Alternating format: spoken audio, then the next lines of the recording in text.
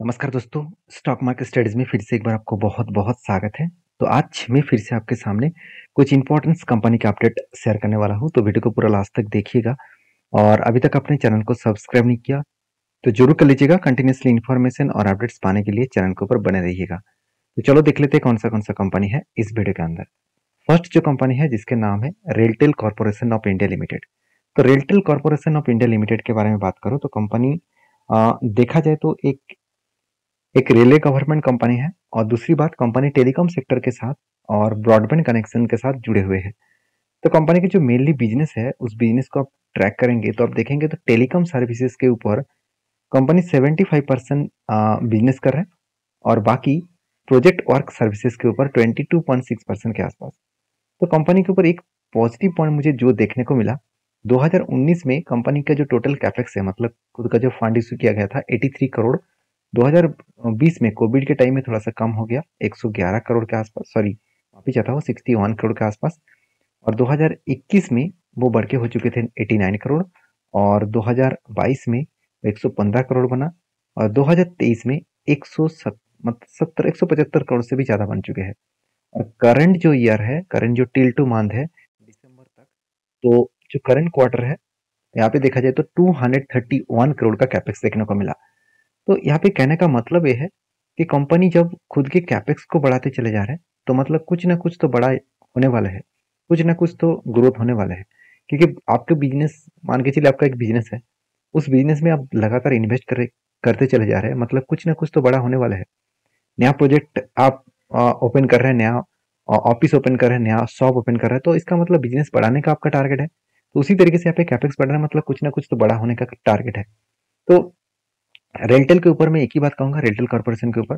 जिसका market cap है, वो चौदह हज़ार चार सौ करोड़ के आसपास देखने को मिला। स्टॉक का पी रिशो सिक्सटी फोर के आसपास है और आर ओ सी सिक्सटीन के आसपास है और आर ओ ई बारह के आसपास है। मतलब कंपनी के ऊपर मार्केट कैप जो है, वो आपको कुछ इस तरीके से देखने को मिला। और कंपनी बहुत छोटा होने के बाद भी कंपनी की जो पी रिश्यू है, आज वो पी रिश्यू को देखेंगे तो पी रिश्यू टॉप लेवल में है।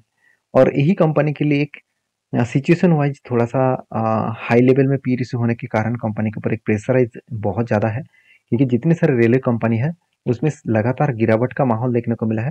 सिर्फ़ रेल टेल के ऊपर उस तरीके से कुछ माहौल नहीं बना क्योंकि माहौल तो बना था फिर से वो रिबैक कर चुके हैं। क्योंकि इसके ऊपर बहुत बार टेड बना और बहुत बार मैंने टेड लिया आपके साथ भी शेयर भी किया आ, सारी चीज़ों को समझने के लिए सोचने के लिए। तो यहाँ पे देखिए फिर से एक बार एक आ, रेंज क्रिएट हुआ एक ही रेंज के अंदर कंपनी बहुत बार एंट्री किया। एक्चुअली रेंज जो है वो मैं आपको आकर दिखा दूँ तो एक्चुअली रेंज बनना है कुछ इस तरीके से, क्योंकि यहाँ से ही कंपनी का जर्नी होना स्टार्ट हो चुके थे। तो इसी लेवल कंपनी के एक बिग सपोर्ट है। ऊपर साइड में रेजिस्टेंस है, नीचे क्या है? सपोर्ट है। फिर से रेजिस्टेंस तक गया। उसके बाद देखिए यहाँ पे क्या हुआ? ब्रेकआउट हुआ। ब्रेकआउट होने के बाद कंपनी एक बार नीचे आए। और देखिए यहाँ से अगर रीबैक करके कोई भी ग्रीन कैंडल दिखे नेक्स्ट डे में अगर इसके ऊपर कोई ग्रीन कैंडल बने तो ऑब्वियसली इसके ऊपर मैं ज़रूर एंट्री लूँगा और मेरा स्टॉप लॉस इसके नीचे रहेगा और मेरा टारगेट यहाँ पे जो लेंथ है, इसका वन इज़ टू थ्री शुगर ज़रूर मैं टारगेट लेकर चलूँगा। तो मैं ज़रूर कहूँगा इस कंपनी के ऊपर मेरा जो डिसीज़न है, वो तब लूँगा जब मुझे कैंडल पैटर्न दिखे। क्योंकि कंपनी का जो, फ़िलहाल के जो क्वार्टर रिज़ल्ट है, वो मुझे बहुत शानदार दिखा। 454 करोड़ से 668 करोड़ तक बना। और एक्सपेंस को कंपनी कंट्रोल करने के बाद नेट प्रॉफिट 32 करोड़ से डबल हो चुके हैं 62 करोड़ तक बन चुके हैं। मतलब प्रॉफिट यहाँ पे डबल हो चुके हैं। और प्रॉफिट डबल होने के कारण प्रॉफिट टू एक्स होने के कारण कंपनी के ऊपर एक बेस्ट तरीके से आपको सिचुएशन देखने को मिला है। और इसी आ, मतलब डेटा के आधार के हिसाब से मैं एक बात आपको बता दूँ कंपनीज़ के ऊपर अच्छा खासा मोमेंटम जर्नी कमिंग टाइम्स में आने वाले हैं। तो मैं आपको ज़रूर रिक्वेस्ट करूँगा। आप डायरेक्टली कंपनीज़ के ऊपर टेक्निकल को यूज़ करके काम मत करिएगा। सारे चीज़ों को आपके हिसाब से वेरीफाई करिए और उसके बाद काम करिए। नेक्स्ट जो कंपनी उसका नाम है राजेश एक्सपोर्ट इसके ऊपर हर दिन, एक दिन पॉजिटिव दूसरे दिन नेगेटिव आपको देखने को मिल ही जाएगा। क्योंकि अभी भी इस कंपनी के ऊपर बिग प्रेशराइज अभी भी देखने को मिला है। तो कंटिन्यूसली सेल ऑफ़ कंपनी के ऊपर होता चला जा रहा है। क्योंकि जब कंपनी इस रेंज को, इस रेंज का मतलब है 100 सॉरी 343 जो लेवल था, उस लेवल को जब ब्रेक डाउन किया, उसके बाद नीचे आ रहा था और नीचे आने के बाद ऊपर जाने का कोशिश किया, इस लेवल को रिटेस्ट किया, उसके बाद धीरे धीरे करके वो नीचे आ रहा है। नो नीचे आने का मतलब क्या है? कंपनी अगर करेक्शन हुआ तो कहाँ तक आएगा? तो ये जो लेवल है 240 से लेकर 225 लेवल तक, ये जो लेवल है, इस रेंज तक आने का वो कोशिश करेंगे। क्योंकि इसी लेवल से कंपनी लगातार डाउन साइड में ट्रेड करना स्टार्ट कर चुके हैं। तो मेरे कहने का मतलब है कि कंपनी के ऊपर एक प्रेशराइज ऑब्वियसली देखने को मिला। इस प्रेशराइज को कंपनी किस तरीके से हैंडल करेंगे, किस तरीके से रिकवरी करेगा, वो आपको बाद में ही देखने को मिल जाएगा। तो मैं ज़रूर कहूँगा कंपनी के ऊपर अभी संभल कर काम करिएगा, क्योंकि कंपनी का हालत अभी उतना अच्छा नहीं है, क्योंकि कंपनी का जो फाइनेंशियल डेटा है, वो इस बार कंपनी सेल्स पिछले क्वार्टर के तुलना से डबल करने के बाद भी कंपनी सबसे कम प्रॉफिट किया, सिर्फ़ 12 करोड़ का। जो पिछले बार 45 करोड़ के आसपास प्रॉफिट हुआ था। तो आज तक की इतनी लोएस्ट प्रॉफिट कभी नहीं हुआ। इसका मतलब कंपनी के ऊपर एक बिग प्रेशर तो है ही कि नहीं तो कंपनी के ऊपर अच्छा खासा प्रॉफिट देखने को मिल जाते। और हाँ एक बात मैं और भी नोटिस आपको करा दूँ कि कंपनी अभी देखिए दो परसेंट तीन परसेंट के आसपास ही टैक्स दे रहा है। टैक्स अगर उसको ज़्यादा देना पड़े तो कंपनी का प्रॉफिट मार्जिन और भी कम हो जाएगा। अगर यहाँ पे टैक्स ज़्यादा दिया तो कंपनी लॉसेस में रन करता। तो इसीलिए मैं संभल कर काम करने के लिए कहूँगा सोचकर काम करिए, क्योंकि इंस्टीट्यूशन इस कंपनी के ऊपर बने हुए इसीलिए है, क्योंकि इंस्टीट्यूशन इस कंपनी के ऊपर भरोसा तो करते हैं। म्यूचुअल फंड के पास छोटे मोटे होल्डिंग है, बाकी एफएस के पास अच्छा खासा होल्डिंग्स है। तो राजेश एक्सपोर्ट के ऊपर सबसे ज़्यादा होल्डिंग्स प्रोमोटर के पास है, उसके बाद पब्लिक के पास है। हाँ आदर्श के पास भी है मतलब जो डी है डोमेस्टिक इन्वेस्टर है, उसके पास भी ग्यारह परसेंट के आसपास होल्डिंग्स है। तो इस सारी चीज़ों को समझकर इस कंपनी के ऊपर डिसीज़न लेना। डायरेक्टली ब्लाइंडली किसी कंपनी के ऊपर टेड मत ले लेना कि हाँ ये एक लंबा गिरावट हुआ है तो सस्ते में मिल रहा है तो चलो बाई कर लूँ। ऐसे हमेशा आपको प्रॉफिटेबल ट्रेड नहीं देगा। कभी कभी आपको बिग लॉसेस भी देगा, क्योंकि जिस तरीके से वॉल्यूम हो रहा है सेलिंग का तो मुझे लग रहा है कि अच्छा खासा एक सेलिंग लेवल देखने को मिलेगा और अच्छा खासा एक डाउन साइड लेवल देखने को मिल सकता है। बाकी आपके क्या ओपिनियन है, ज़रूर मुझे कमेंट्स करके बताना। नेक्स्ट जो कंपनी उसका नाम है केपीआईटी टेक्नोलॉजीज़ लिमिटेड देखिए केपीआईटी टेक्नोलॉजीज़ के बारे में बात करूँ तो नेक्स्ट जो कंपनी उसका नाम है के टेक्नोलॉजीज़ लिमिटेड कंपनी देखा जाए तो एक लार्ज कैप कंपनी बनने जा रहा है और कंपनी अभी धीरे धीरे करके ग्रोथ कर रहा है. धीरे धीरे मतलब बहुत पहले से लंबा जर्नी हो चुका है. अभी एक जगह पे वो रुके हुए हैं. उसके बाद फिर से एक लंबा जर्नी होने का चांसेस भी है, क्योंकि ऑटो सेक्टर बहुत तेज़ी से ग्रोथ कर रहा है. और आप सभी जानते हैं Nifty Sensex lifetime high के ऊपर है। तो जब market overall market index lifetime high के ऊपर है तो सोचिए एक बहुत बड़ा पॉजिटिविटी यहाँ पे आ, बाकी कंपनीज़ के ऊपर देखने को मिलेगा।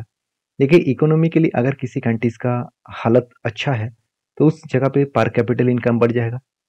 पर कैपिटल इनकम बढ़ गया तो हर लोगों के मन में दो चीज़ होते हैं पहले घर बनाने का दूसरा कोई गाड़ी खरीदारी करने का। तो इस तरीके से सिचुएशन में जब लोग गाड़ी ज़्यादा से ज़्यादा खरीदारी करेंगे तो उस टाइम में उससे जुड़े हुए जितने कम, सारे कंपनीज़ है, उसका फ़ायदा मिलेगा। आप सब सोच रहे कि मान के चलिए कोई टाटा मोटर्स का गाड़ी खरीदारी की है तो टाटा मोटर्स तो ग्रोथ होगा ही। उसके साथ साथ टाटा मोटर्स को जो बाकी कंपनीज़ सर्विसेज़ देते हैं, उसका भी फ़ायदा होगा। तो केपीआईटी टेक्नोलॉजीज़ जो टेक्नोलॉजी बेसिस के ऊपर काम करते हैं आर्टिफिशियल इंटेलिजेंस के ऊपर काम करते हैं डिजिटल सॉल्यूशंस के ऊपर काम करते हैं वो भी ऑटो सेक्टर को बहुत ज़्यादा हेल्प करते हैं। उनमें से टाटा मोटर्स भी है। बाकी बहुत सारे कंपनीज़ हैं। इसको यहाँ पे आप जाकर चेकआउट कर सकते हैं।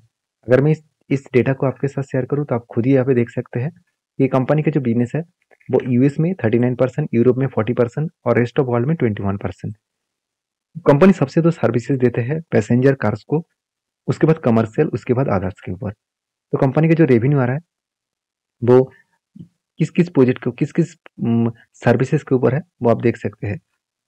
तो कहने का मतलब है कि कंपनी का जो बिज़नेस है, वो बहुत तेज़ी से ग्रोथ तब करेगा, जब उस कंट्री का इकोनॉमिकली ग्रोथ करेंगे। तो अभी इंडिया का इकोनॉमिकली ग्रोथ बहुत तेज़ी से बढ़ रहा है, और आप सभी जानते हैं थ्री ट्रिलियन डॉलर भी क्रॉस ओवर कर चुके हैं, और टारगेट है 2023 के अंदर अंदर इकोनॉमिकली वर्ल्ड के थर्ड लार्जेस्ट कंट्रीज़ बनने वाले हैं जीडीपी के हिसाब से। तो अगर इस तरीके से ग्रोथ हुआ तो सोचिए सारे कंपनीज़ का किस बेसिस में ग्रोथ होगा। हाँ ये नहीं कि पेनी स्टॉक भागते चले जाएँगे। ऐसे होगा नहीं। हाँ कुछ कंपनीज़ में शायद हो सकते हैं। वो ऑपरेटर गेम है तो उसको छोड़ दीजिए। आप अच्छे कंपनी के ऊपर रिसर्च करिए। जैसे के मेरे हिसाब से आ, मैं मेरे खुद के ओपिनियन आपको बता रहा हूँ। कंपनी बहुत शानदार मुझे लगता है क्योंकि कंपनी के ऊपर कभी भी आपको सेल्स में हर साल में आपको ग्रोथ देखने को मिलेगा। कभी भी आपको कमियाँ देखने को नहीं मिलेगा।